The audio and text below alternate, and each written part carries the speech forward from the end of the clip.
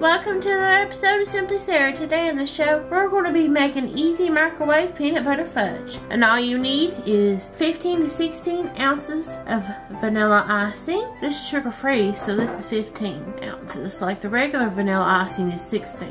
It doesn't matter what brand it is. And it don't have to be sugar free. And then 18 ounces of peanut butter. Creamy or the chunky, it doesn't matter. The only thing that we found that it don't work with is the all natural peanut butter that's real runny. You know, with that oil that's on top and you have to stir it and it's real runny. It just don't work with that. It has to be the good thick peanut butter. Now you can swap out your vanilla icing and do chocolate icing with the peanut butter and it's like a chocolate peanut butter fudge like a Reese cup. We'll be doing another batch with the chocolate frosting instead of the white frosting. You can use one of them no sugar peanut butters long as it's thick like regular peanut. If it's runny like natural peanut butter then it might not work. So all you're going to do is plop 18 ounces peanut butter and your 15 to 16 ounces of your icing in a microwave safe bowl. We're going to microwave for a minute, bring it out, stir it, pop it back in for another minute, bring it back out and stir it, and then we're going to put it in the pan, stick it in the fridge and let it chill.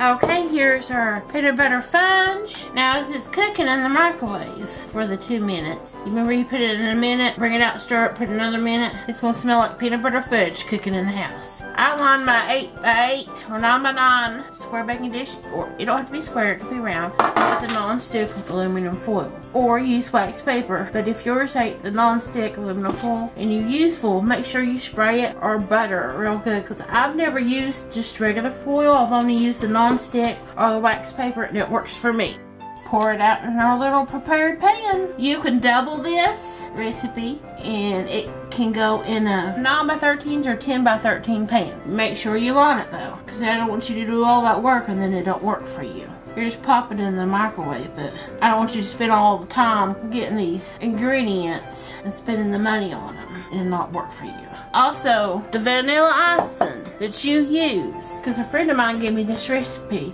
I mean, it don't have to be sugar-free. Regular vanilla icing. It just cannot be the whipped or the cream cheese icing. It will not set up and it will not work. We have found out. So I want to give you a heads up on that. And then we're just going to stick this in the refrigerator. You can cover it with an, uh, some foil on top if you got a lot of stuff in your refrigerator in case something, you know, spills or kids get in there and move stuff around. At least eight hours or overnight works best for me. Our easy microwave peanut butter fudge is done. I got it out of the refrigerator. It's set up good. Now I just started slicing it. And I'm slicing it into smaller pieces because it is rich. Well, to me and Janie it's rich. You cut it to however big squares you want. And remember I used that non-stick aluminum foil. I suggest using that. Or if you use a regular foil, you might have to spray it and butter it real good. I would. I recommend it. I'm going to attempt this without doing that. Or you can line your pan with wax paper. That'd be easy too. Let me get you another piece out and I'll hold it up close to the camera so you can see the texture of it. Now it's soft. It's not hard fudge like you would do on the stove in the kettle and boil it and all that stuff. But it holds its shape い。And everything. It sits up real good, but it's still a little bit soft. That's how it's gonna be. It's not gonna get any harder. I recommend storing it in the refrigerator because some houses are hotter than others and it might start melting. And you work so hard to get it to set by placing it in the refrigerator and chilling it overnight. You can use any kind of frosting. You don't have to use the vanilla frosting. Like I'm gonna make a batch with some chocolate frosting with the peanut butter and it'll be chocolate peanut butter fudge. It'll taste like a Cup.